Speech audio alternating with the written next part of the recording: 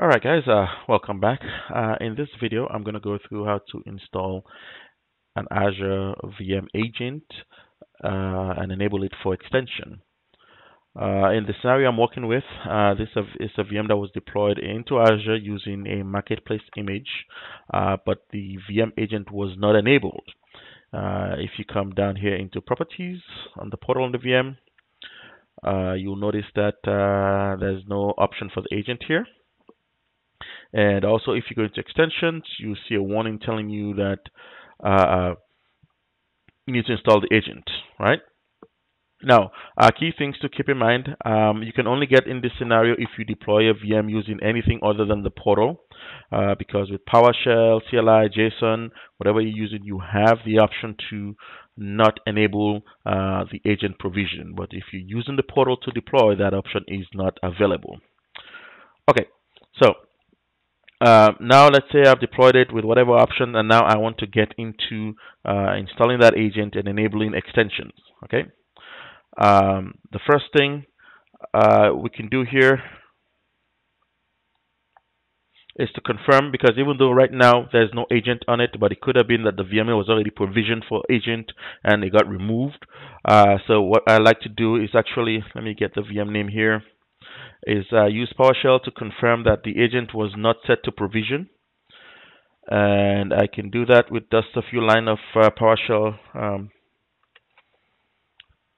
commands here.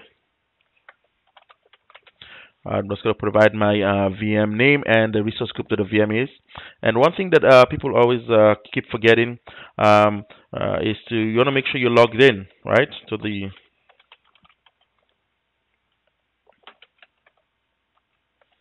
uh, you want to make sure you log into the account that you're working on. Um, with the new PowerShell module right now, um, the logins are all saved in uh, in the context, so it's easy. You don't have to log in every time. Um, so I'm going to confirm. Yep, I am logged in, and this is the subscription that I'm working with.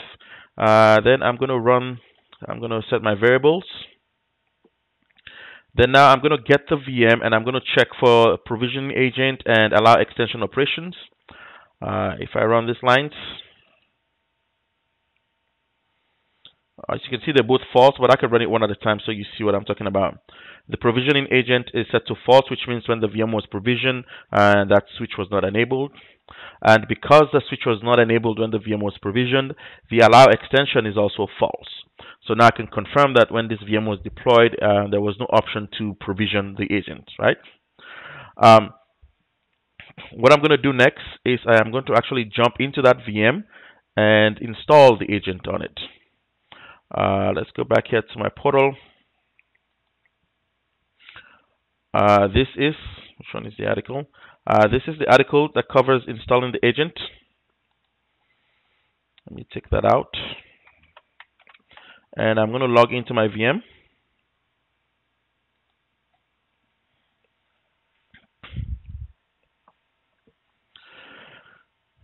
And I, am going to bring that article up inside of the VM.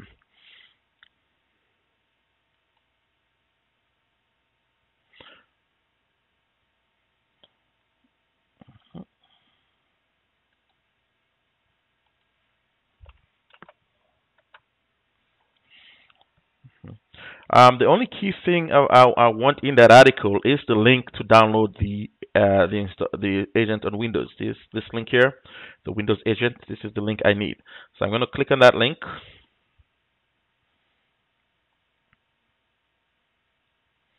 And I'm going to go ahead and run it.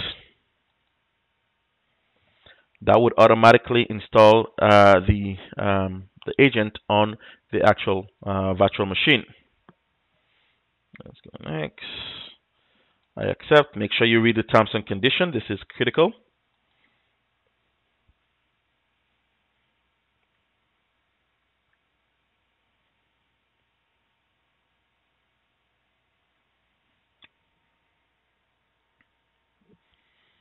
Oh, finish. Uh, that should install the agent on the machine. I can confirm if I go to right click here and go to task manager uh, go to uh, more, uh, go to services. As you can see, the RD agent services is running. It has just installed the uh, the telemetry service. It should install another. Um, I think the guest agent should also be coming up in a few minutes here. Uh, so um, that is uh, it's basically this is the proof that the agent is actually installed. Now, uh, not to waste time, while this is actually going through its motion, right? Um, what I'm going to actually do now is also enable um, extension operations on that VM. So I'm going to jump back outside of my VM into my little PowerShell script.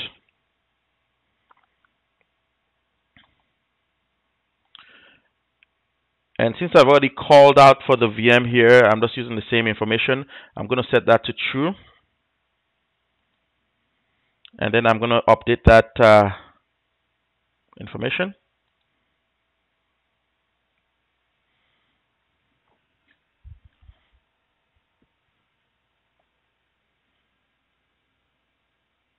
that should definitely change that um, that should change that option so that uh, now the VM will allow um, will allow extensions to be added uh, because the agent is uh, we've just installed the agent on the um, on the machine.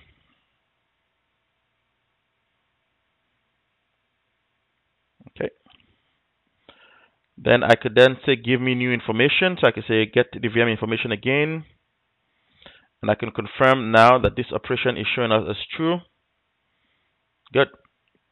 Uh, briefly, I'm going to jump back into my uh, VM. Right, confirm everything is running. Good. Uh, then I'm going to go back to the portal.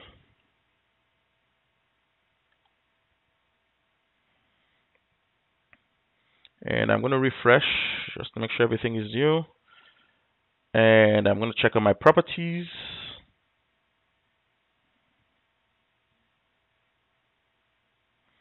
See, now I have the VM agent all installed and ready. And if I go to extensions, I no longer have the errors about uh, not able to uh, install extensions. And I can briefly just say add.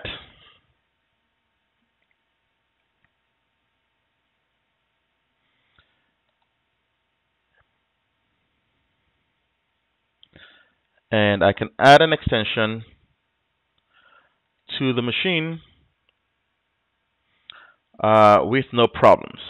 Okay, so while this is actually getting added, uh, things to note, uh, before with the uh, legacy, um, with the ASM, we used to go in here and actually switch the provision agent to true to be able to do, um, uh, to make changes, but the provision agent um, switch is, uh, with ARM, it is not uh, it's not something you can change. That just means that when the machine was deployed, it did not provision the agent, but you can always go in and switch the allow uh, extension switch turn on to be able to um, use extension with a machine that is not um, uh, that wasn't provisioned uh, with agent uh, when it was deployed.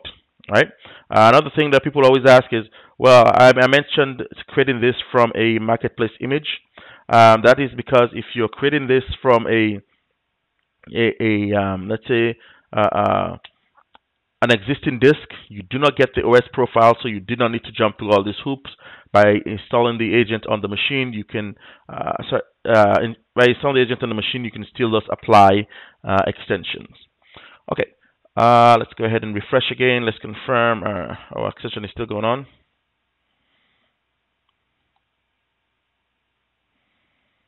But as you can see, It's still installing.